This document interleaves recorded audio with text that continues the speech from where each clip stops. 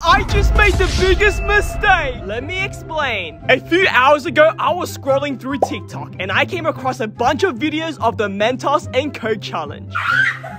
Yeah, it's an old trend, I know, but I wanted to try it anyway. So I decided to give Pizza Hut a call. I don't want your pizza. I want three bottles of Coca-Cola. I couldn't possibly do this on my own, so I needed some help.